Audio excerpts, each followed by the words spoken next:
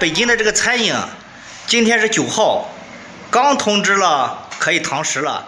今天上午高高兴兴的就干了半天，又通知不让干了。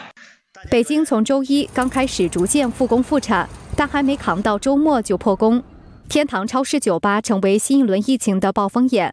十号，当局称酒吧群聚的密接人员为四千四百零二人，感染者涉及十二个区，多地再次被封控。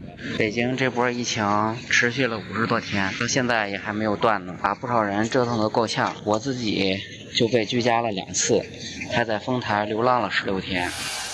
在酒吧群聚感染事件中，一名年轻人的行程刷爆网络，被外界称为以一己之力瘫痪半个北京城。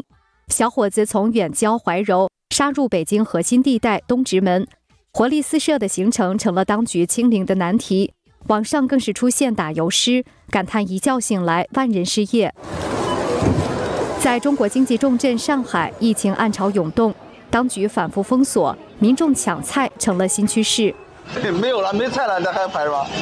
跑光了呀，都，后来就开始抢了。上海政府称，十一号起对至少七个区进行大规模核酸检测，涉及约一千四百万居民。而闵行区、长宁区已经通告，将在此期间封闭管控。